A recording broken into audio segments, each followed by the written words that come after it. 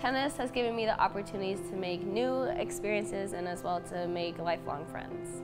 Playing tennis has given me the opportunity to meet people from all around the world and learn what I want to do with the rest of my life. Sports has given me the opportunity to become a better leader and a better teammate.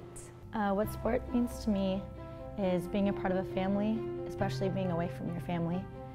Uh, brings you opportunity to mingle with different sports, different people, and you learn a lot more about other people. Playing sports uh, throughout my childhood and growing up and playing multiple sports actually, it gave me the opportunity to come to college and play at a Division One school.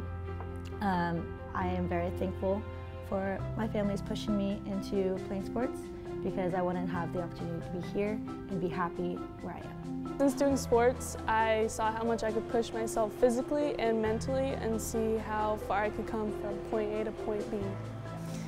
Participating in sports helped me reach the next chapter in my life, which is college, and some people don't get that opportunity, so I'm really lucky.